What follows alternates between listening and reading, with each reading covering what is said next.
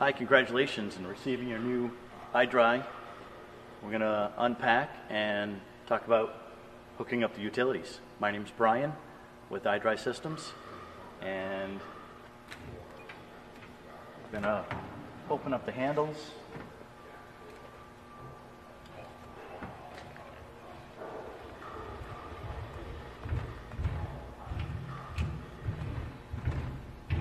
Get the door open.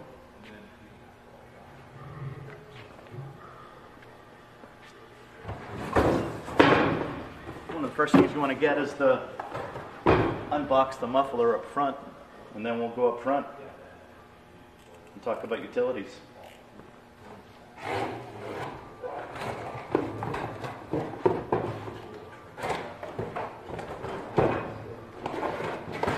Got the muffler. Later, you're going to get a few guys together and unstrap and get the trolley and um, track out.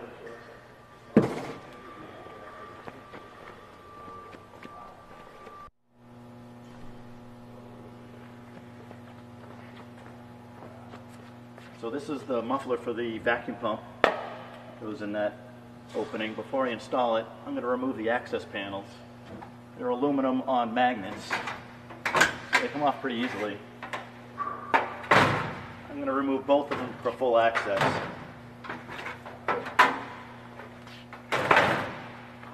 Now that you have the access panels removed, our pump and plumbing is readily accessible.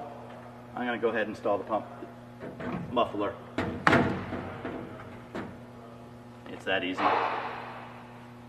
Next we talk about drain and water. Those good connections are now below and underneath. There's two drains, one for the pump, one for the chamber, and then a water connection for the pump. After you get those connected, you can put the access panels back on, or wait till everything is working to your satisfaction and put them on later. Then, because the next step is to hook up the electrical. Do the electrical, I'm going to remove this junction box cover. The electrical would be 208 to 230, 240, single phase.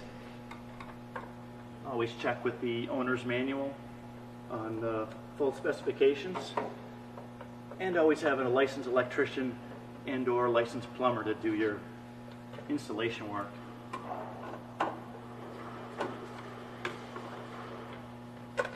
Removing the cover accesses the connections for the electrical. Once the electrical is connected, water and drain, you're ready to go.